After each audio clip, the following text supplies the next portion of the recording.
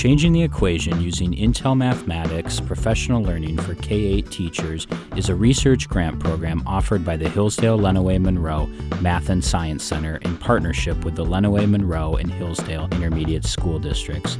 Teacher participants will attend 80 hours of the nationally acclaimed Intel Math training and 32 hours of math learning community sessions using technology tools to support teaching and learning.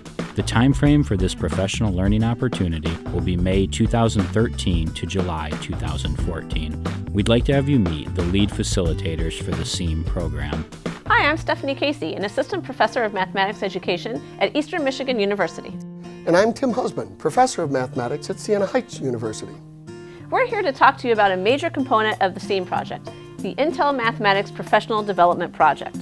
This project is specifically designed to close the gap between the mathematics training elementary school teachers have received in the past and the demands of the contemporary mathematics classroom in today's Common Core state standards era.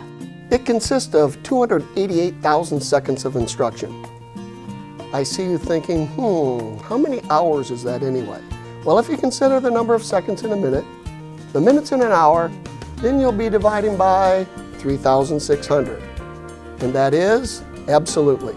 80 hours, a couple of weeks. The goal is to deepen your understanding of core K-8 mathematics concepts, including integer arithmetic, the decimal system, place value, rational number arithmetic, rates, linear equations, and of course functions.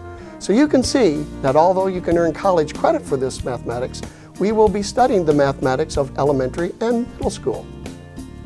Because mathematics is a problem-solving activity, not a spectator sport, the majority of your class time is going to be spent solving mathematical problems in small cooperative groups. You'll have many tools at your fingertips to help you in solving the problems, including manipulatives, grid paper, colored pencils, and of course each other. You'll also be communicating your solutions in multiple ways, like talking to your colleagues or writing down your solution methods. All of this is to help you become more confident and effective at answering students' questions about why mathematical procedures work and why it's important to learn certain math concepts. The importance of multiple methods of solution is a thread that we will emphasize throughout the course. So once you've solved a problem one way, we'll often ask you to solve it again using another solution method. I'm sure you've all had the occasion when a student has presented a solution strategy to a problem that is different from the one that you taught and think, uh-oh, is the answer correct, but this process is weird to me. I wonder if it's correct. Well, this helps you become familiar with the many ways students think about problems and makes you a more effective teacher. So, you can see we're going to be doing a lot of math, and actually about 90% of our Intel Math project is going to focus on math. In addition, the remaining 10% of the Intel Math curriculum focuses on best practices for the teaching and learning of mathematics. We'll examine student work to focus on students' mathematical thinking and discuss ways to deal with common misconceptions students have about the mathematical topics that you teach. As we mentioned, the course meets for a total of 4,800 minutes. Excuse me, that's 80 hours. The program will consist of consecutive Summer Institute training days, followed by professional learning sessions during the school year. Please consult your county's SEAM informational flyer for the training session dates and times for your county's cohort.